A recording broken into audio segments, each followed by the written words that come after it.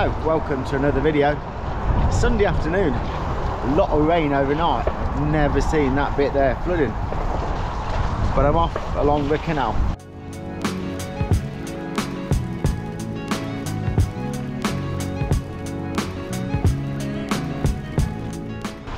At the moment this year we seem to have uh, way more way more water than is needed.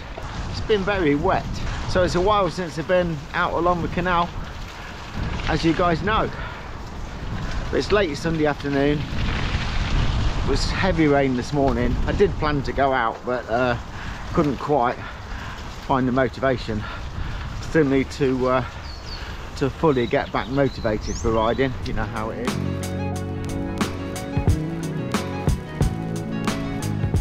But my uh, my realistic aim to get back to some sort of fitness is to aim to do 50 to 60 miles a week hopefully from now on.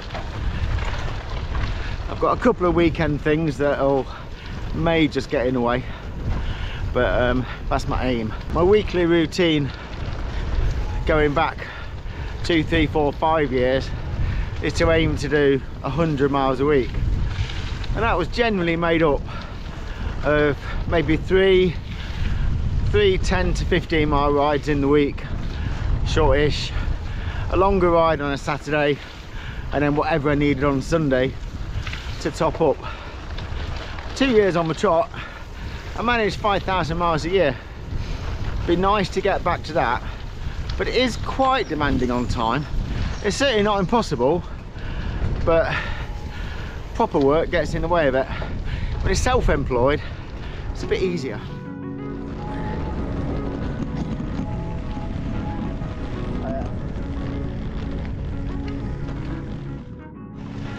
So I thought I'd share with you on this ride some thoughts about that motivation and finding the motivation and what's worked for me in the past to get back riding again or to keep riding if I've got something in mind.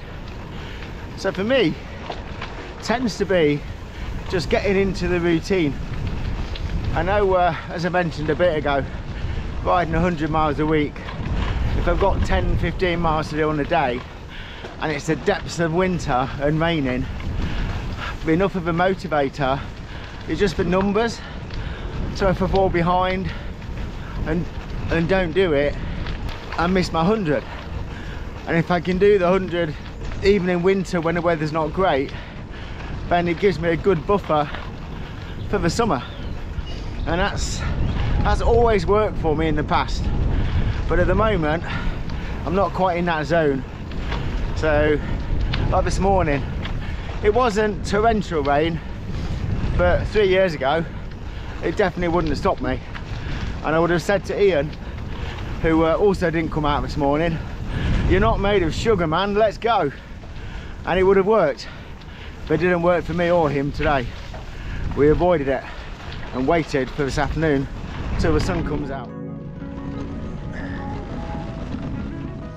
So the aim now the nights are a little, a little bit lighter is to hopefully use that to my advantage just to go out and regularly do 10 15 miles um, early evening just uh, about dusk time. But it won't be long until we've got a decent amount of light will it? So that's definitely going to help.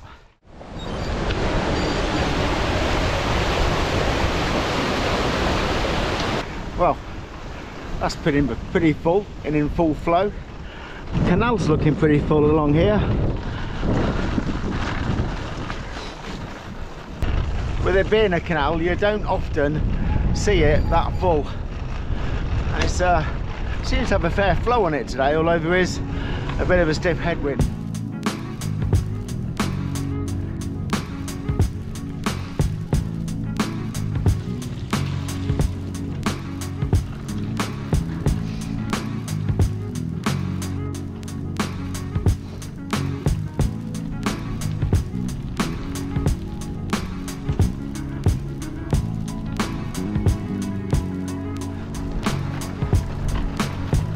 So I think just here I might go over that bridge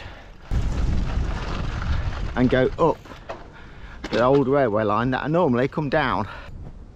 I expect it will be muddy like this for the first couple of hundred yards and then generally it drains reasonably well. It might be muddy as opposed to standing water that I've come through a lot of on the canal. So let's see.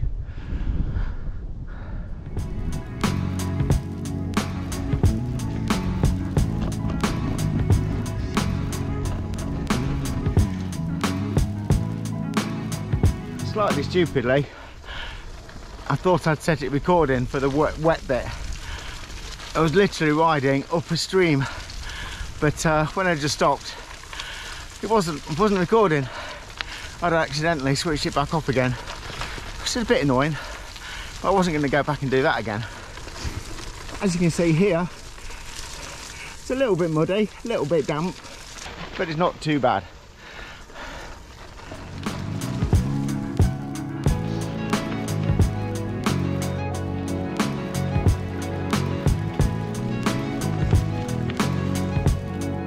Where was I? Oh yes, motivation. So the other thing that works for me is having something definite to aim for. And with the help of uh, young Ian, who you know from the channel, motivation next is having an event to aim at. So he's entered us for an Audax, the Lincoln Imp Audax. Now, I've never done one before, so that's 112k I think it is in uh, April. So not too far away. But that's going to be something to to aim at. So I think uh, again having something that keeps you riding to aim at like that is a good way to keep yourself motivated because you've got a definite target. And if you don't do the training it's going to hurt.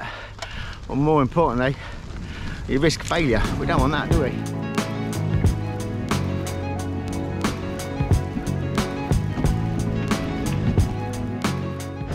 So back out onto the road. When you're uh, when you're back on the road after mud so much easier isn't it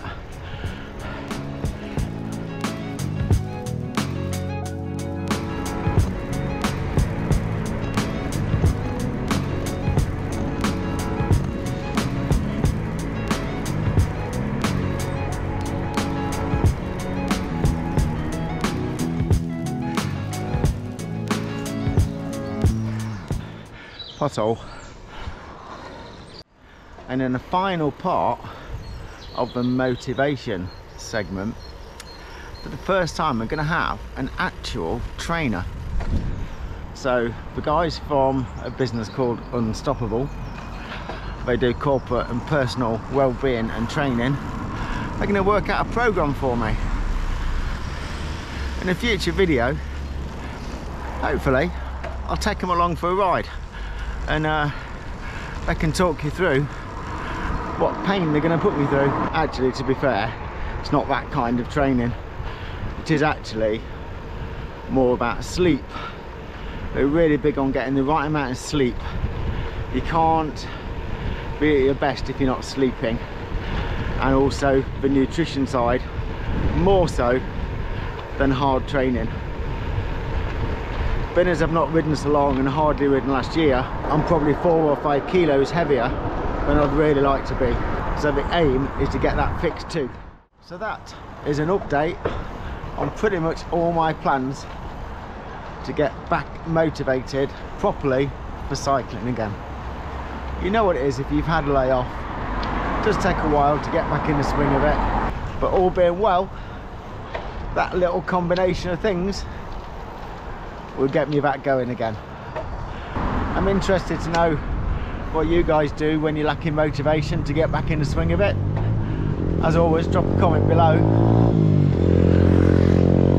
Let us know what works for you. But thank you as always for watching. Don't forget to click the bell icon and like and subscribe. It's free and it really helps me out. And uh, that'll be another part of the motivation actually. If I can get towards 2,000 subscribers just a bit over 200 to go that'll be another thing that'll motivate me, won't it?